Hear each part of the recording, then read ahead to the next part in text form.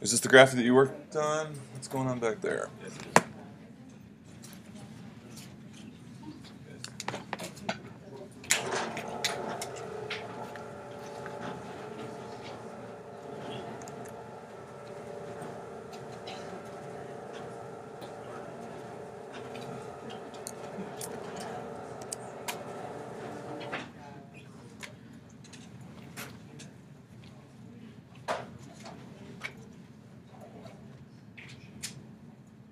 Okay, so I just want to talk about the process here and see if you have any questions. So, what was the interval size that we want? So, so what's what are we doing? So, what's the point? What, what are we doing here? What do we got? What kind of what kind of thing is this? What's that? No, it's not a wobbly line. It's a mathematical representation of what? Acceleration? Velocity. Velocity. Okay, it's a speed, and speed in, in general is what kind of quantity? But more more general. You're getting more specific. Positive. It's a rate. Rate of change. Okay, we've got a rate of change function. It's telling us at a given time what does a point on this function represent. If I were to pick a point on this function,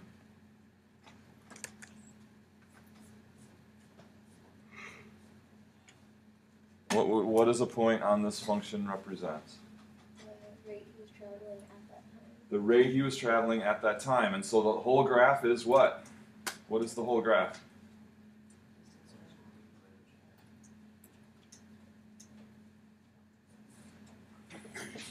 What does this point mean? It's the rate at that time. It's an associated pair of information. So where does the graph come from? Bunch of dots. What's that? That's it, Patrick. Bunch of dots. It's all these points, right? It's all these points at di- all different times as time increases. If you pause time at any given time, you get an associated rate, and we show all the points. So we so it's too it's too time consuming to, to go dot dot dot dot dot, right? So it's not like a wire. It is actually a bunch of dots. It's actually a bunch of points. That's what this is. But this is just too cumbersome and not very clean to do it this way. So instead, we just show continuously all the points flowing together. So when you see a graph, you got to see a bunch of points. So these are this is rate of change, right? And what what we're going to do with this rate of change graph? What's that, Lizzie? Okay, we're going to use it to build a distance graph, exactly. And how are we going to do that? Intervals, okay? And our intervals are going to be Zero point 0.2 two wide. So like the first interval was like from here to here, right? From 0 to 0.2. So I'm showing that as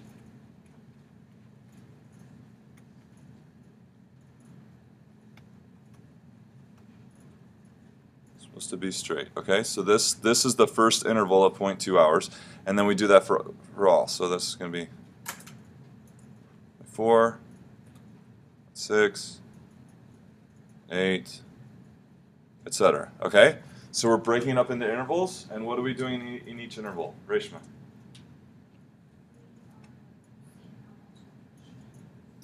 We're seeing how much it changes.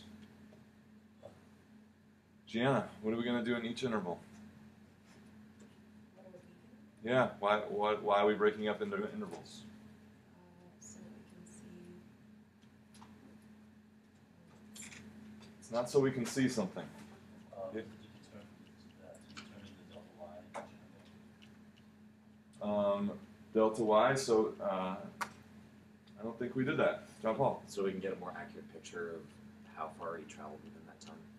Or like he was traveling a certain certain amount of time at a certain rate. And so we get a more accurate picture of the smaller the interval is. Okay, so um, our goal is to figure out how far he traveled, and the first thing we said to do was going to break this up into intervals.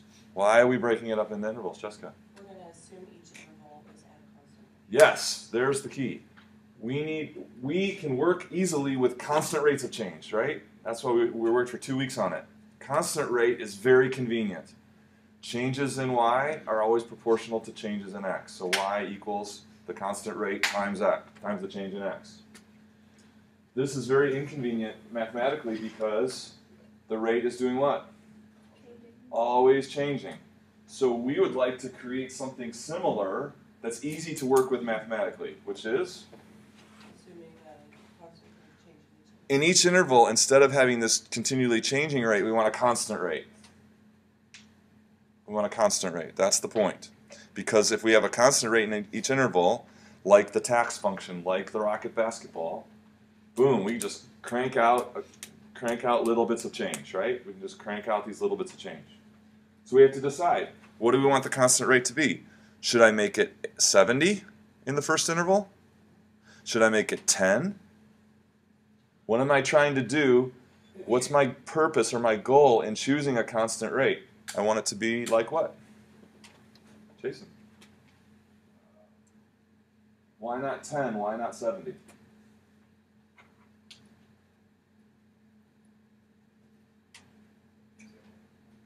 Yeah, so we're, we're going to choose a constant rate in this first interval. Why not 70? Why not 10? Go ahead. Okay, it doesn't reach 70, it doesn't go down to 10. So what about 50? Can I do 50 for the constant rate? Would it be somewhat accurate? Yeah, it'd be a lot better than 70, certainly a lot better than 10. Yeah, 50 would be reasonable.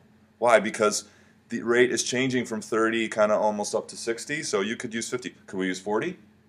Sure, we could use 40, right? This is it's all just we're just estimating, approximating. So what do we usually do? And what did you do in your homework?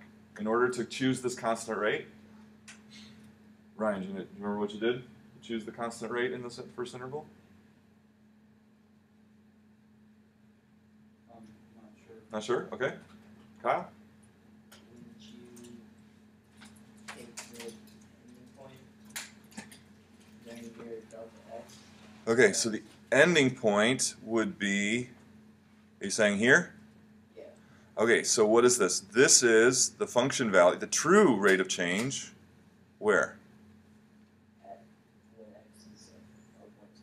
This is right. This this would be x point two. Is this the right side of the interval or the left side of the interval? X point two. Yeah. It's the right side. Do you see? Is it a valid approximation for the rate? If I were to do that constant rate at point at the up there around 58, it's valid. Is that what we, is that what was the instructions in this one? And what did it say? The left side. So we look at the interval, which goes from 0 to 0.2, and we're going to look at the left side of the interval. And so, Allie, what will the constant rate be if I'm using the left side of the interval? 30. 30. So here's the actual rate on the left side of this interval. So that's what I'm going to choose to be the constant rate for the whole interval. And this is we're starting to form our step function. Okay? So what is step of point 1? If, if the function is called step, what would step of point 1 be? Brian? 30. What would step of 0.19 be? 30. What would step of 0.001 be? 30. 30, right? It's a constant rate for this whole interval determined by the rate at the left side, the actual rate at the left side. Does that make sense? Okay, so here, um, from 0.6 to, in this interval from 0.6 to 0.8. Eric, tell me how to determine the constant rate from 0.6 to 0.8.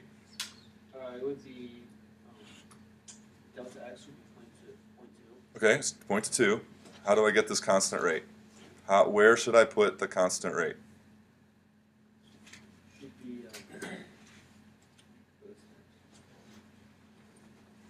constant rate would be, uh, fifteen. Okay, can you can you say it in, in not in terms of an estimate, but in terms of how you're getting it?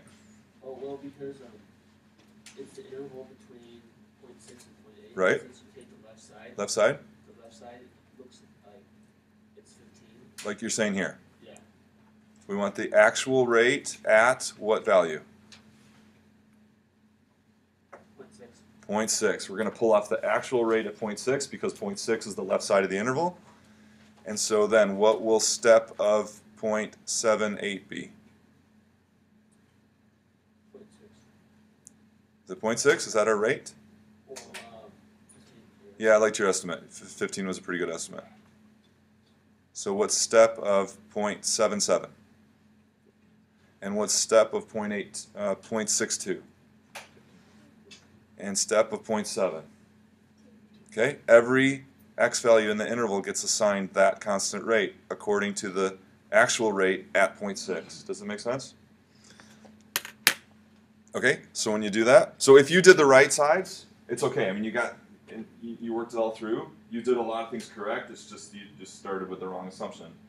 But does it make sense choosing the left side or the right side to determine the constant rate? We can also choose choose the midpoint. So, for instance, we can choose the left or the right. So, for point this interval from point four to point six, the midpoint is 0.5. So we can take the rate at 0.5 and let that be the constant rate for that whole interval. It's a valid way of doing it. It's a valid way of doing it.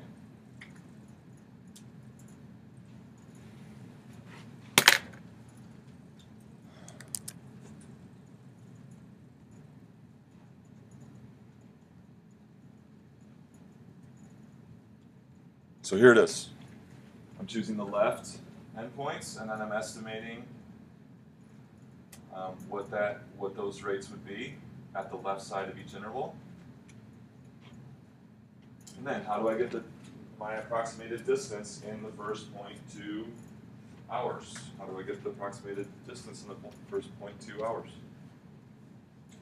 The rate times, uh, delta x. Delta x times the rate gives me delta y, right? Delta y times the rate, or is, is the rate times delta, delta x.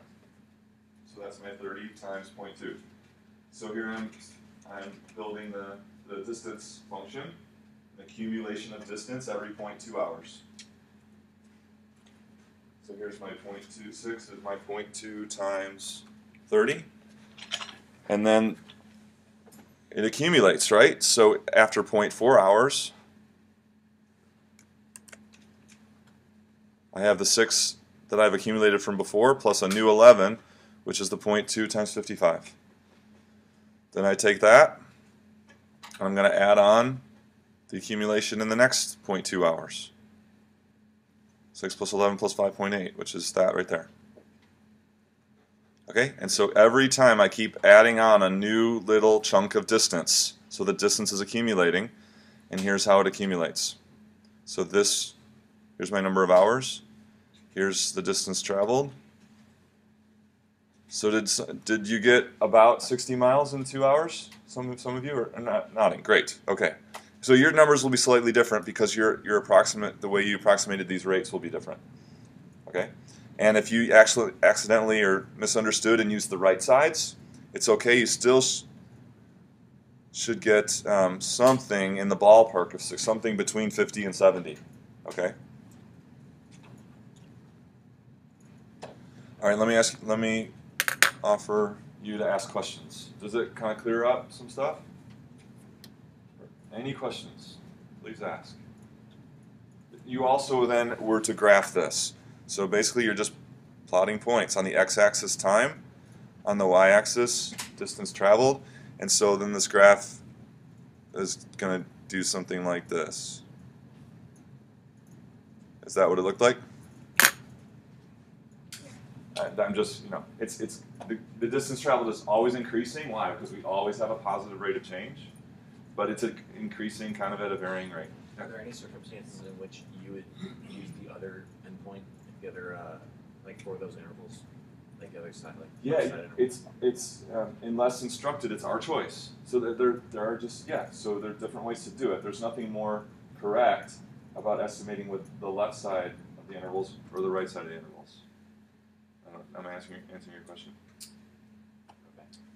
There's nothing more. uh, For this particular problem, I specified that you should use the left. That's the only reason why you use the left, just because I specified it, just, just to see if you understood. But there's no no ad, ad, advantage to the right over the left over the mid. There are just three different ways of doing it. Um, however, it's so to represent it with the delta y and delta Uh-huh. x. Okay, so what does delta say for the first interval? What is delta x? Point two. And what is delta y? 30 times point. So it's our rate times the change in x.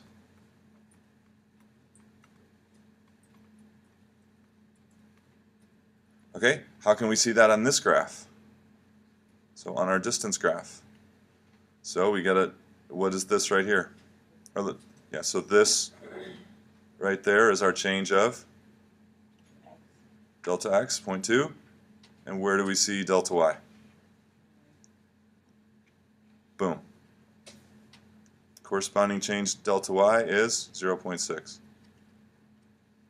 six, right? Sorry, 6. Did I do that too? Yeah, sorry. Thanks. 6.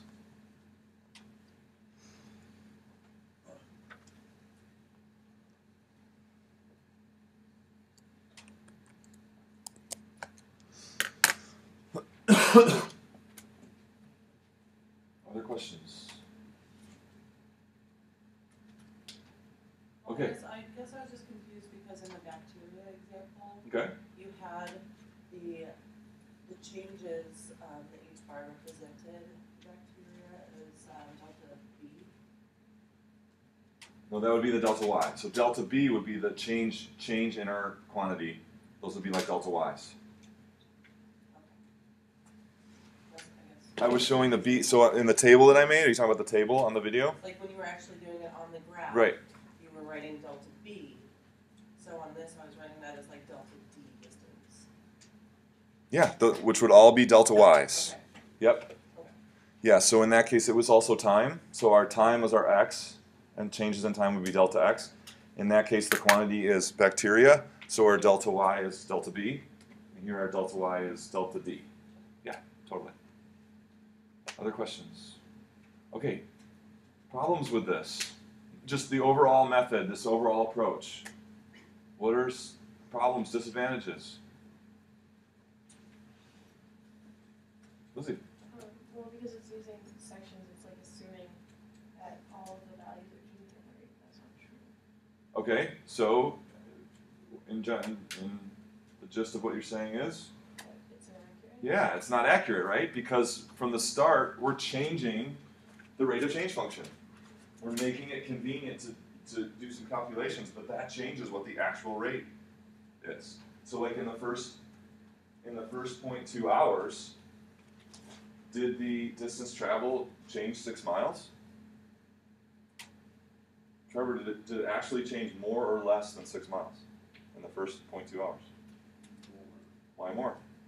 Because you're constantly increasing the rate of change and then, but we just kept it at thirty. Yeah, we kept it way down. In fact, a lot more. You see this? It's it, there's a there's an acceleration here.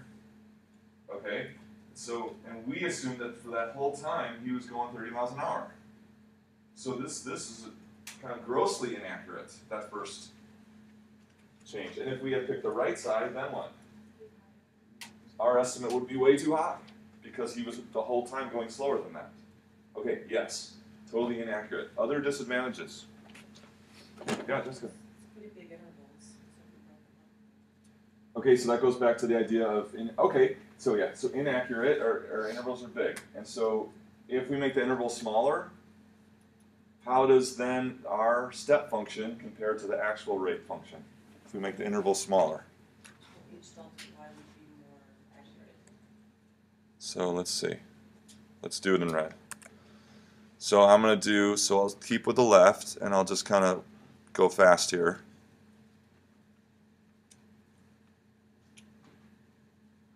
So now I'm just kind of winging it here on a smaller interval and still using left sides. What's true about this new step function compared to the old one? how does this step function compare to the actual rate of change? Yeah, do you see how this how the, the red step function is matching the rate of change better? You see, much better, because I chose a smaller interval. Okay, so now, want to do it? Want to want to work out the distance traveled profile for why not, Kyle? It's a lot of work. It's a lot of work. Here's the trade-off. You want something better, you got to do a lot of work. But you live in a good age. Why? You live in a good time. We have machines. We have machines that can do this. So not only can we have a better, we can choose a good uh, rate of step function to match. We can have the machine do it quick. So that's what we're going to work on next. Okay? That's why. So I wanted you guys to bring a graphing calculator. Let's get graphing calculator to do this for us. And then what, we what can we do to delta x? If we have it all having the machine do it, then we can make delta x what? Really small. Not infinitely small. We still still needs to be a finite interval. But we can just, with a click of a button, we can make delta x much smaller, and our accuracy is going to go up in terms of the distance traveled. Accuracy will start start going way up. So are you saying like, you can't set it infinitely small, you can never get to? Um, uh, we can get it so close that our, we can't tell the difference. How about that? Yeah. So that's the way we want to think about it. We just want to do so well that we wouldn't know the difference. But it's still going to be small changes at constant rates in each change. Okay? But so good that we can't tell the difference. Yeah, that's that's a great question. Okay, so let's just again this idea of finding that the x value at the left end, um, we're going to practice that. So if you have this sheet from last time, do you have this sheet from last time? Go ahead and get this out.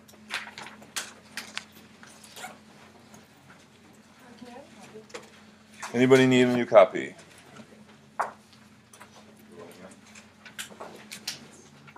Anybody else need a new copy? Thank you. Mine to Gian.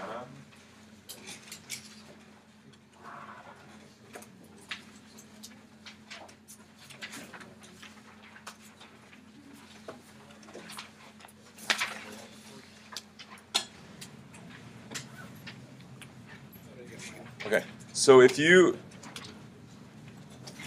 let's go ahead and close your notes and flip this over. We want to kind of re think through it again. So we don't want to. So I, I kind of gave you the formula at the end of class, but we want to think through it one more time. Yeah. Is there any terms like for, I don't know how if I can.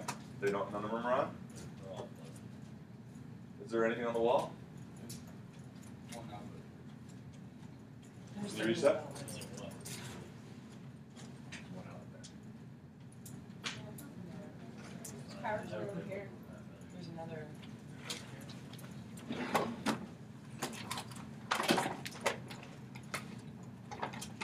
Here, I don't know if this will help, but will help reach.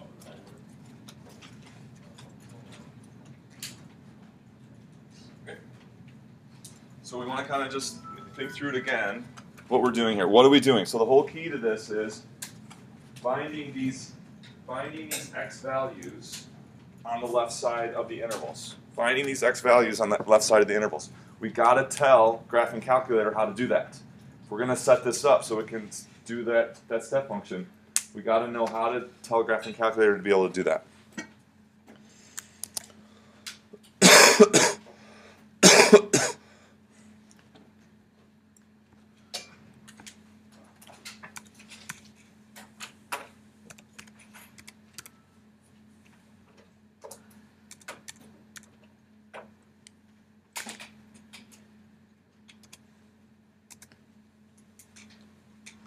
So let's just practice here.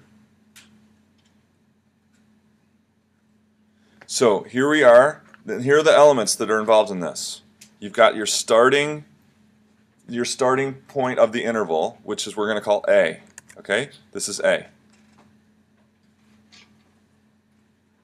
And I've set A to 0.75. Okay? Then you have the width of each interval. I've set that right now at 1.8. Okay, so this is the value of n.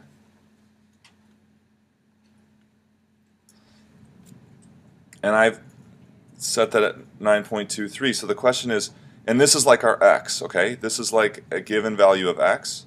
And the question is, if our x value is 9.23, starting at 0.75 with intervals of 1.8, where what is that x value? What's the x value of the left side of this interval? Do you see how this relates to our whole discussion so far? We gotta find these left sides of the interval. So we, we just take we randomly say, okay, what if x were here at 9.23? And I've got this setup going. A starting value of 0.75 and x equals 1.8. What interval am I in? What x value is at the left end of that interval? Okay, so figure it out. And if once you have it, raise your hand. So everyone by yourself, work on it.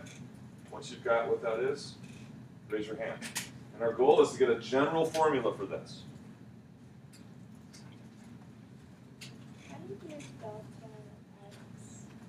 Okay, so I'm not asking you to, to reproduce this graphing calculator file right now. Okay, we're not quite there yet. I'm just asking you to think about the mathematics of the situation. We'll get we'll get to graphing calculator very shortly. So just work on this. You're trying to get what is the value of the x value at the left side of the interval that we're in, right here at 9.23.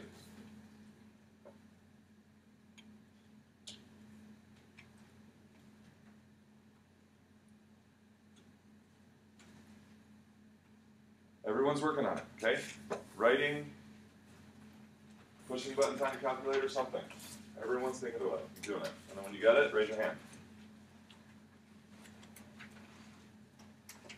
So, so write down your approach. So if you got it, write out, write out your thinking that got you the answer.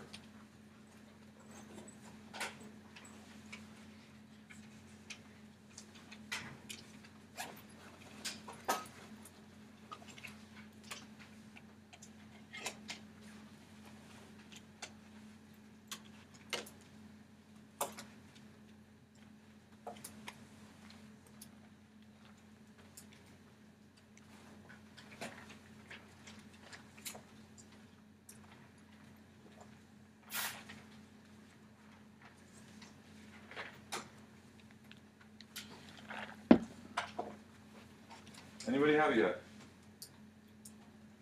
Just one. I'm glad we now they're doing this again. It's really important that we can get this. You got two. So we got three people.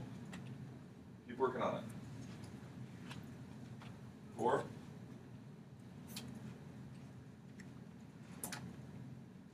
Wait, if you have a question, ask me.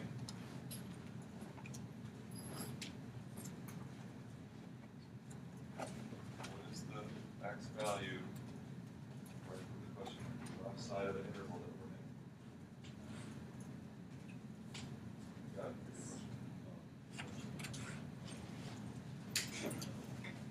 Um, that value first, and then work out the general formula. Without looking at what we did last time. Here.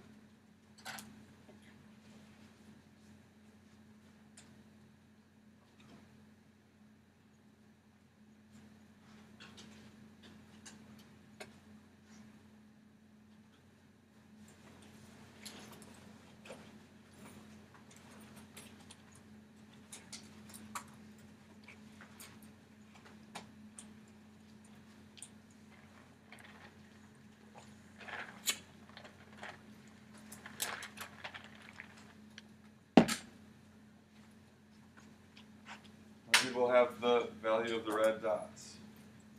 Raise your hand, nice and high. Okay, we're getting some more.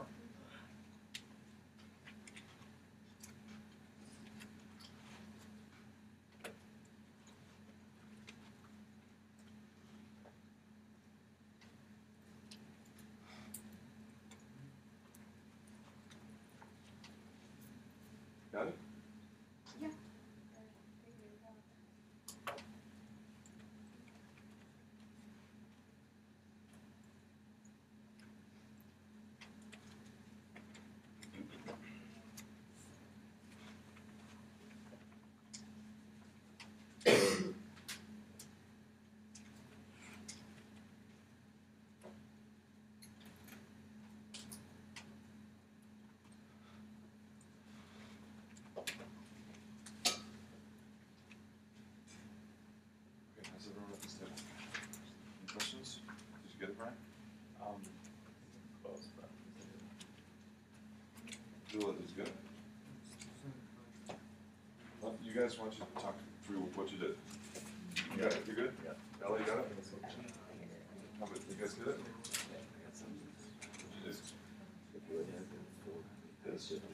Delta x is, good. point seven five. Uh, no, it's one point eight. Delta x is one trying to find the value. That's seven point five. You understand what we're trying to do? That's not, it's like seven point two. I'm not asking you to just plug into that formula from last time. I'm asking you to think about solving this without the formula. I guess you And understand. you get it? So it's four, it's You get it? it's four numbers. So four and It's four. Seven, seven, five, six, six. Okay, you get it? You're adding You understand the question? I, I, Okay, so you have more thinking about things, or, yeah, I don't know how to do it. with equation. and this X value There's right here. four quantities of that. So Yeah. It's four times n plus a.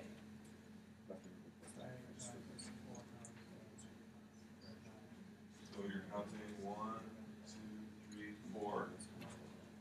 A plus four delta X. That's it. Just start at A, and then we're gonna go this far, how many times? Four times.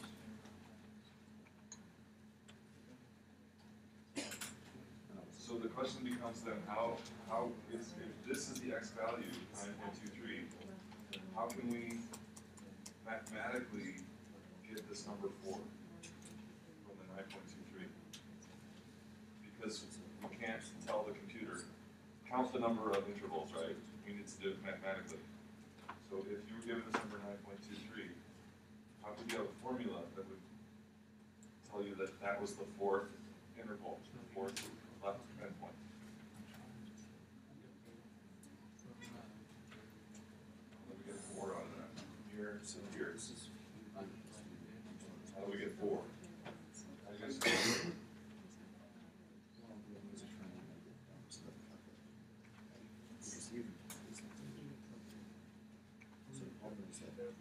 There are four in this, so that's one interval. Four delta x is like seven. Uh, Seven point two. That's seven point five. Yeah. Seven point So two. the question is, is it making progress or? You know, it's a okay number, that's the one. Oh, that's what you know so far. Yeah. A to, sorry, from first interval to last interval. So there's still a gap starting at the first interval. Delta X. And then delta X is gonna take you back into the next interval. That's gonna help you. So what do you, what's your goal here? What are you trying to do?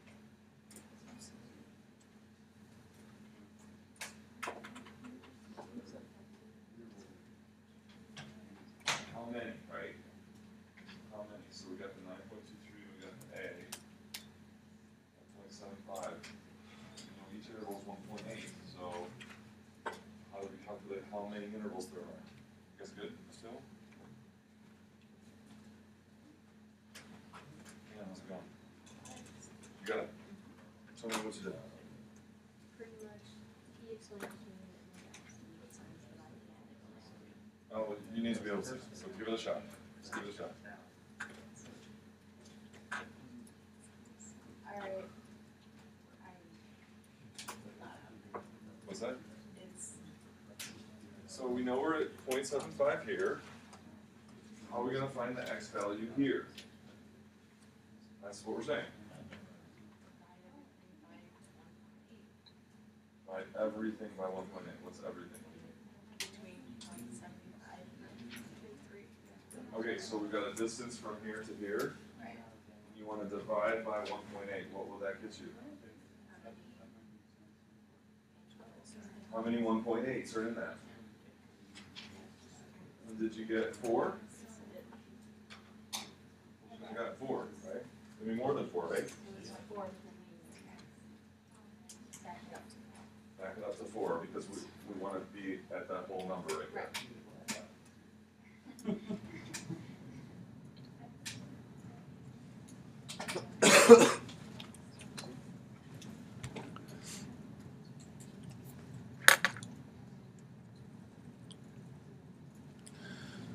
Okay, so how do we get the, the whole the point of this is there's there's four intervals, right?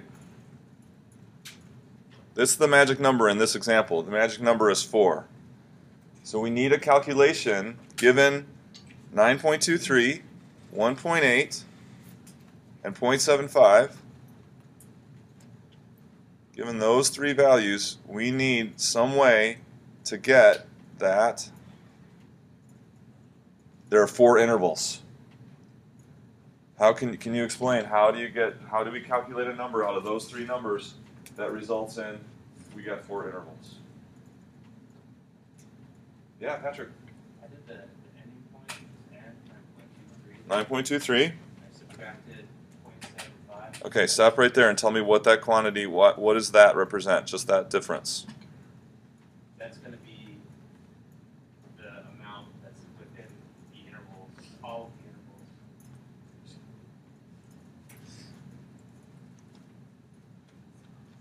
What kind of quantity is it?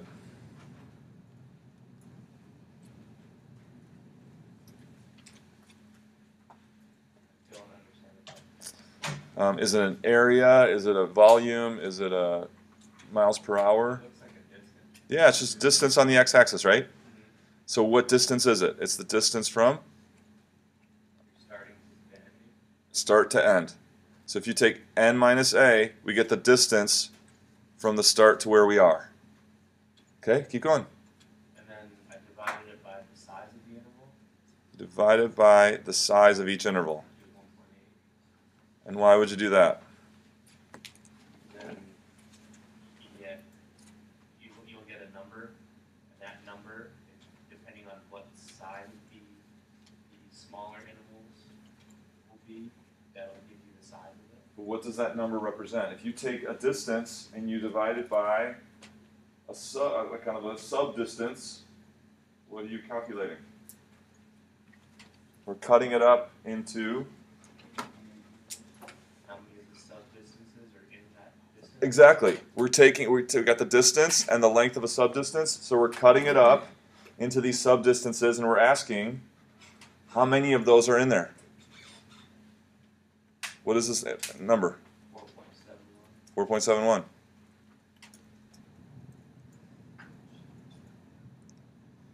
And we wanted what? What was our goal?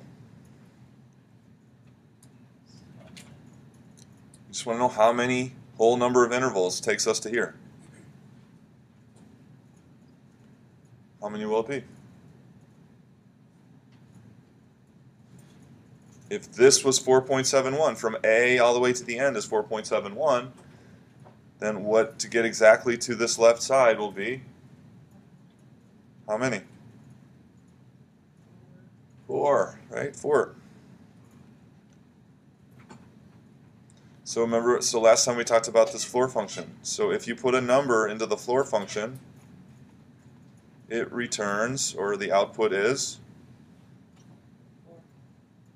the it's the greatest whole number that's less than the number you put in. It's the floor of it, right? The floor. So 4.71. What's below it? That's the that's the whole number that's right below it. 4. So this is a mine or sorry, n n minus a gives us the distance of the whole interval. And we divide by delta x to get what?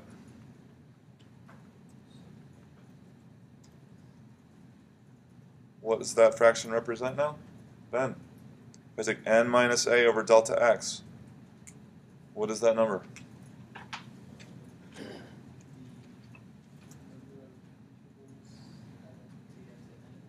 Yeah, exactly. It's the number of intervals of with delta x to get me from a to n.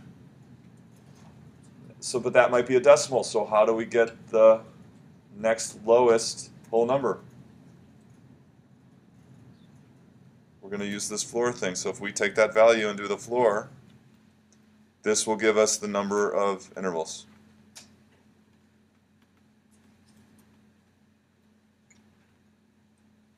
But we wanted the x value of this. So, but th- this was the hard part. This was the hard part. So how do we get the x value now that we know the number of intervals?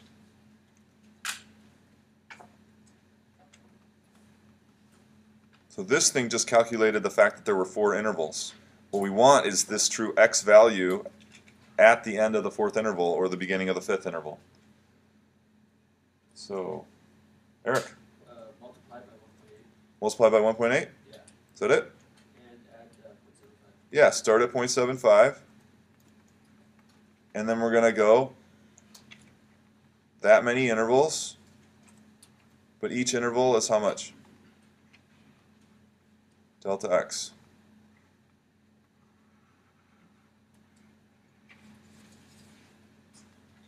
So you can't, oh sorry, that should be, that should just be A.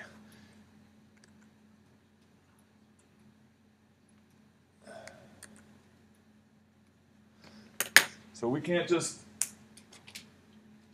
put this in. We're responsible for understanding what it means and where it comes from.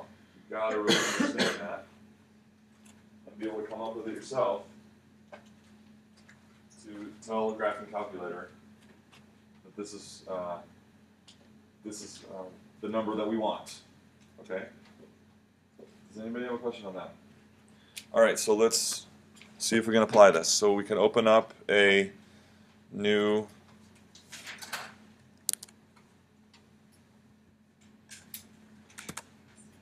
a new graphing calculator window.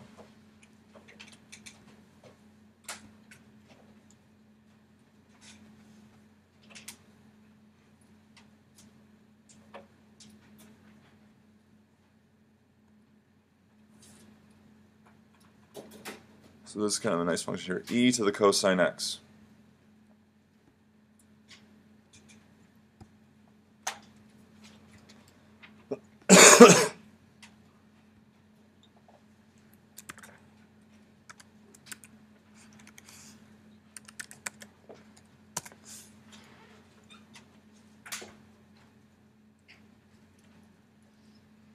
Okay, so go ahead and put that in. y equals e to the cosine x.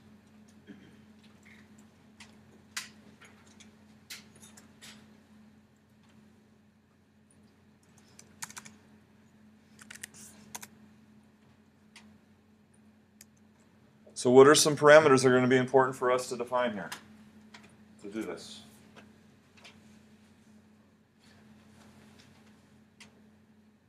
We need your A. A, okay, so we'll say A equals, and for now let's just just put in A equals one, okay, and we can we can change that whenever we want, and then put a comma.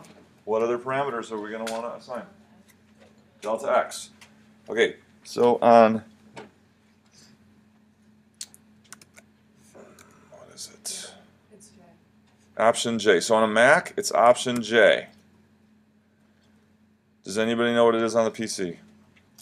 I have it here. Hold on. I think it's. Someone have it? If you got it, say it nice and loud.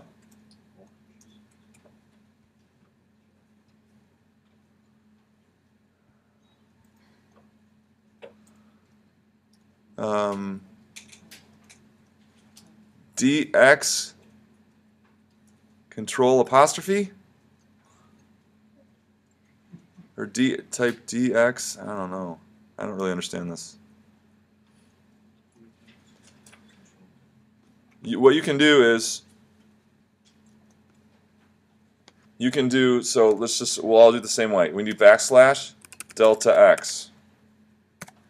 Alright, so this is a, so do that backslash, then delta x backslash, and that'll make that whole character string be our delta x. Alright, and we can just start that at 0.5. It's fine.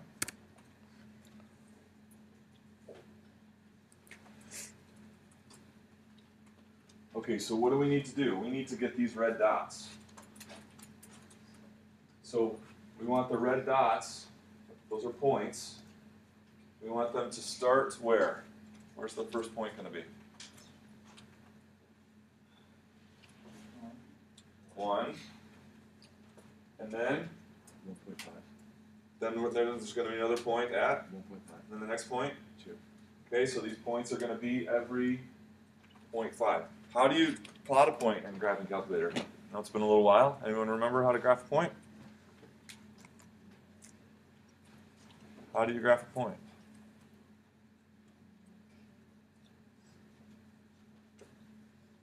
Kyle, remember? Control 2 gives us this little like vertical vector thing. So for instance, I could I could put in 3 for x and 2 for y. and we'll graph point.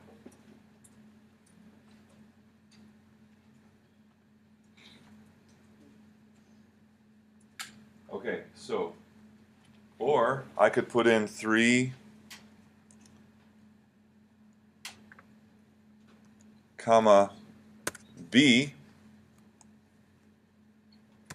or 3b and then I could tell b to be many values.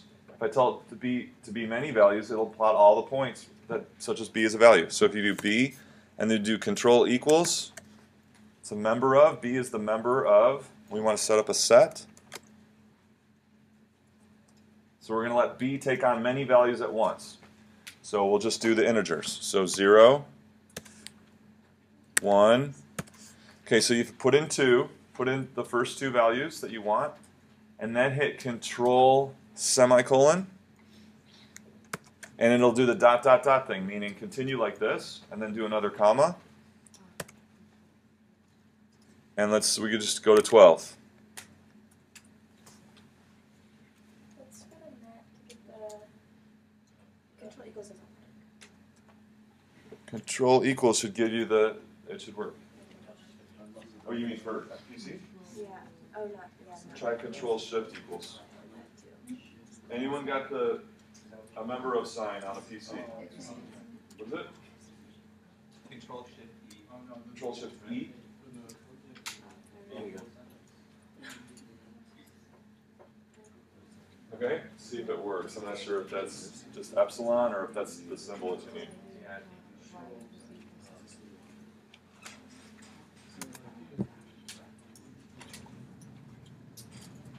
Yeah, I think you should, I think you should type it. Alright, so let's just get this graphing many points here along the line x equals 3. Comma, anything, comma 12. Oh, yeah, backslash, don't backslash. That works. Okay, good. So what was it for PC? Control shift E. Control Shift E is the member of Control Shift E. The dot dot dot is a control semicolon.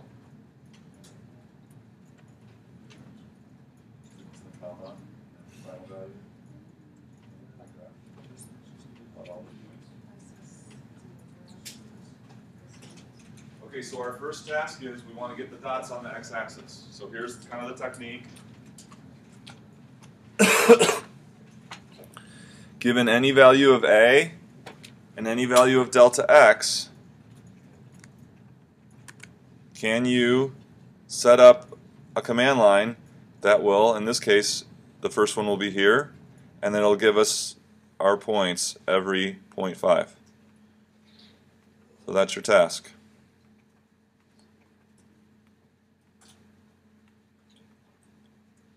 etc.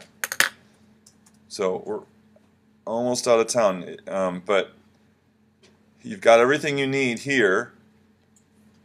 We're going to use a and delta x and do a, a general point, and then what's going to change so that we get all these points that we want, starting at a with an interval of delta x. So this is your little sub mini task here along our way to building these rate of change, these step functions, graphing calculator. We got to get these the red dots first. So that's going to be part of your homework for the weekend. Is how can I get these red dots to plot that will start in my a value and be delta x apart. Oh, you also have the um, the continuation of last Monday's homework. I said it was the um, using calculator to do the generalized piecewise function. I posted a video. Okay, I posted a video that helps explain the assignment. So that is um, due Monday. What I will do is I'll send an email out on Sunday. You must reply to that email with your graphing calculator file attached. Okay? Don't send me your own email. I've got a- another class twice as big as yours. So I just can't be getting separate emails. I gotta get them all in the same email. So look for the email that I send. Once you've got your final version, reply to me on that one and attach it in that reply. And then there's also gonna be more to the assignment, this included. So what, how can you make graphing calculator to get these red dots on, along the x-axis? Starting at A, delta x apart. Okay? Have a great weekend.